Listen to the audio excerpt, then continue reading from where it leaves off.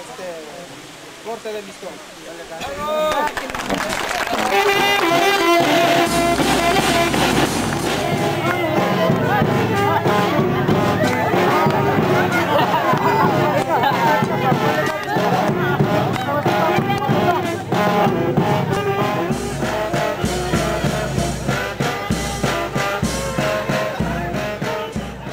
De la misma forma en que al interior sujetan fuertemente por medio de sus instituciones propias la figura del grupo.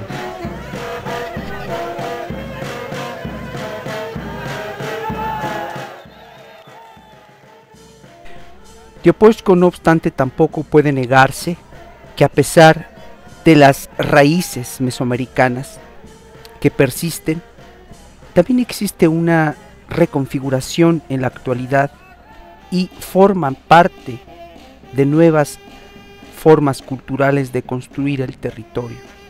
Por ejemplo, en los lienzos o mapas coloniales graficaban el territorio de la República de Indios y del antiguo señorío, mediante el símbolo que se utilizaba en los códices prehispánicos, el cerro o grupo de cerros emblemáticos, símbolo que se conjunta tierra y agua, conocido como el Altépetl, en el altiplano central y condensa los significados de comunidad territorial, ritual, parental y política.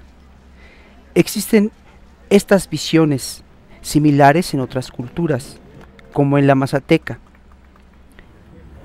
Se dice el Nashinandá o el Yuku Undulta con los mixtecos. Y cua- como te que nos tocan trabajo, pues a, a me, me toca Yintunan le- por acuerdo de, de Amejua, tanto Tatame como Naname, aunque Ashitis que sí acuerdo. Y cua- como te que nos tocan trabajo, pues a, a me, me les toca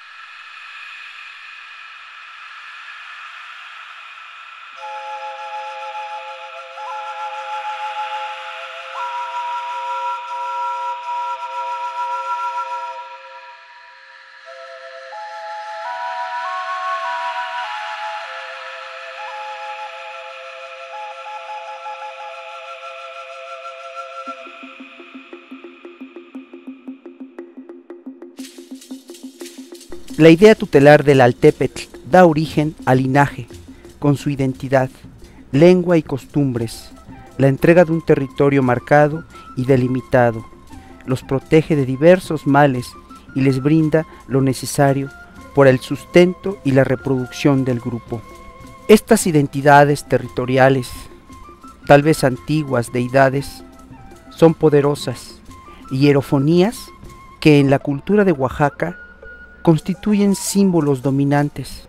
Reciben diversos nombres, dueño del lugar, rey, caballero, patrón, hombre del cerro, santo señor.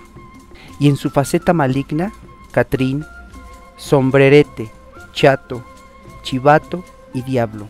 Cada lugar del espacio está a cargo de un avatar de la fuerza territorial que puede o no manifestarse como hierofonía. En los nacimientos de agua, las honduras y los manantiales, mora el dueño en sus diferentes manifestaciones. Otro marcador del inframundo es el dueño de los animales, a veces antropófago, los que custodian las entradas a los cerros, como es el caso del Cerro del Pelón, que en su entrada al inframundo es una cascada de agua de aproximadamente de 10 a 15 metros de altura, que en- es conocida como la regadera.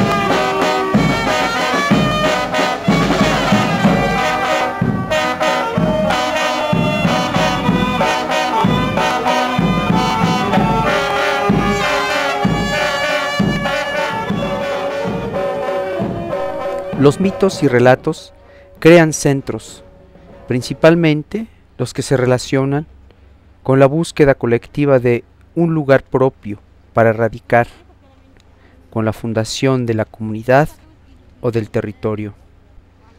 Muchas veces la creación y la marca de lugares específicos se lleva a cabo en el espacio del cerro emblemático, que opera entonces como metonimia del territorio más amplio, o en el espacio de lo que será el territorio o etnoterritorio o sus subregiones.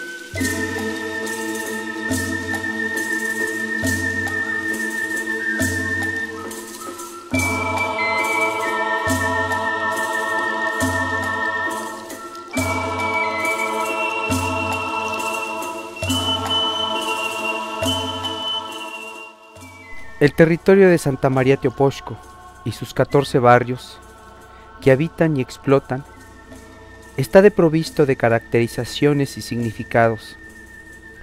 Cada lugar tiene su nombre, cada terreno, cada parte del monte.